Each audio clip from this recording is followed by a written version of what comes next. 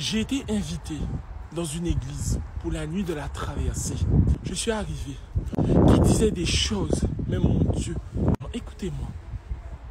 Si je suis vraiment un influenceur, si j'ai une quelconque capacité à changer votre analyse et à vous influencer, aujourd'hui je veux le faire.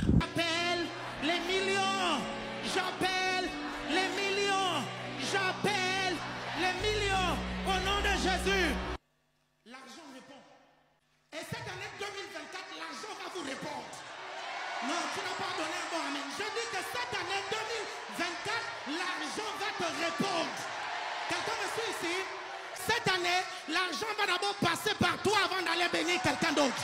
Non, tu ne m'as pas suivi.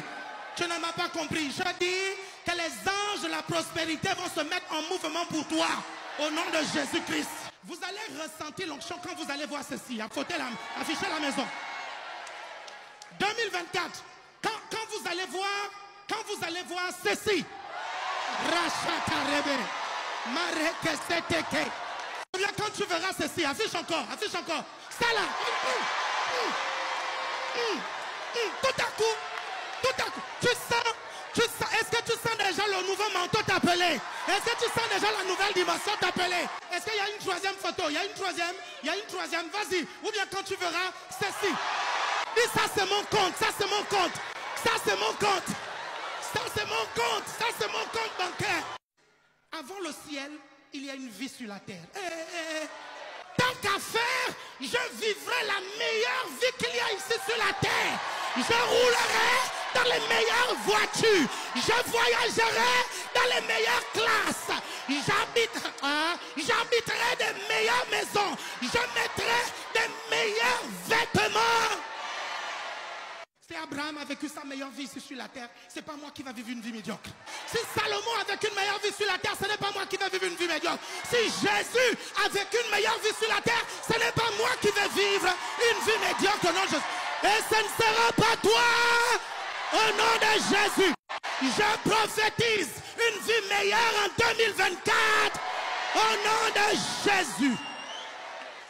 My God, je vais la vivre tellement en abondance. C'est-à-dire que dans abondance, là, vous allez mettre plusieurs B, plusieurs A.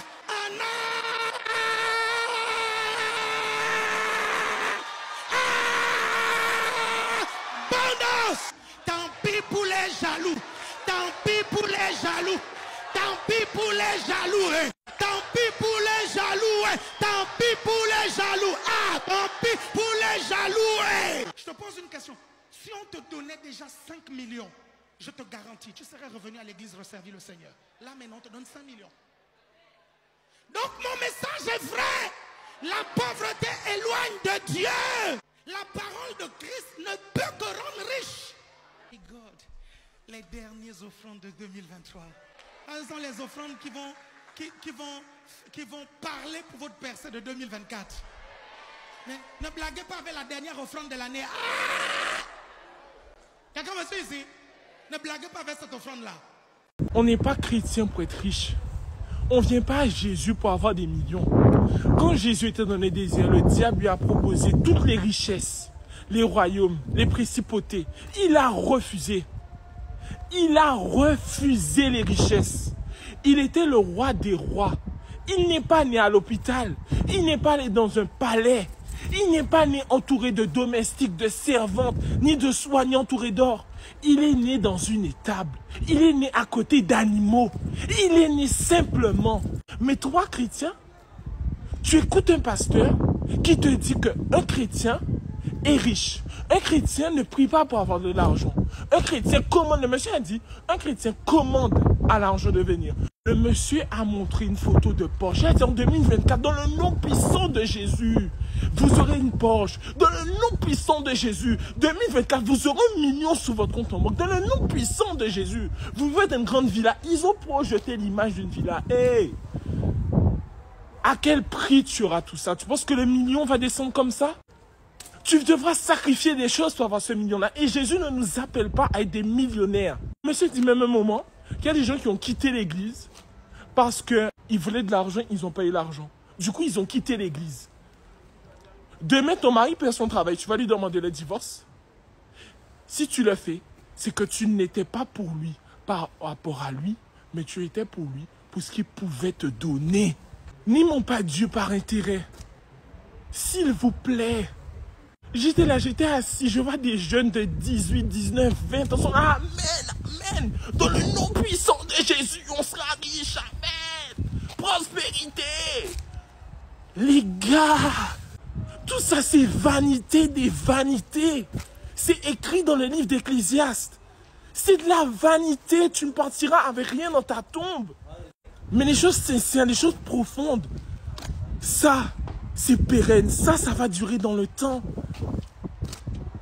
Dieu n'est pas venu nous appeler à demander de la richesse, à demander de l'abondance, à demander de la prospérité, que je vous le dis, hein. la richesse, c'est l'appauvrissement de d'autres personnes.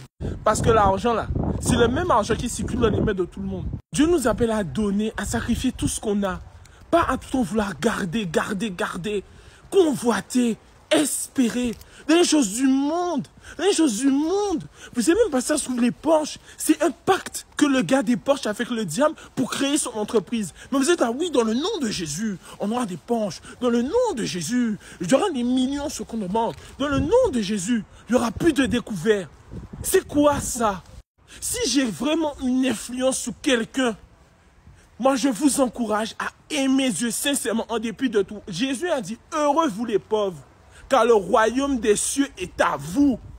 Oui, heureux vous les pauvres. Heureux vous qui avez un cœur pur parce que vous connaissez Dieu. Heureux. Il n'a jamais dit heureux vous les riches. Il a au contraire dit malheur à vous les riches. Car vous avez connu votre joie, vos bonheurs et vos plaisirs sous la terre. Mais votre cœur est éloigné de Dieu.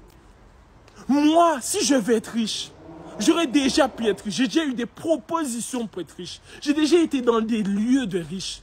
Mais en tant que chrétien, en tant qu'enfant de Dieu, ce n'est pas ma place. Dans toute cette richesse, dans tout cet apparat, dans toutes ces choses vanitaires.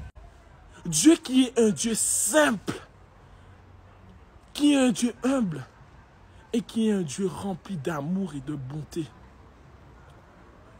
Je ne sais pas et j'espère que ça va te parler ce soir. Je prie dans le nom puissant de Jésus que ça te parle. Si j'ai une quelconque influence sur toi, je veux que ça soit bien celle-là. Très souvent, on veut évangéliser les personnes qui ne connaissent pas Jésus. Mais il y a certaines personnes qui ont entendu parler de Jésus, mais connaissent le mot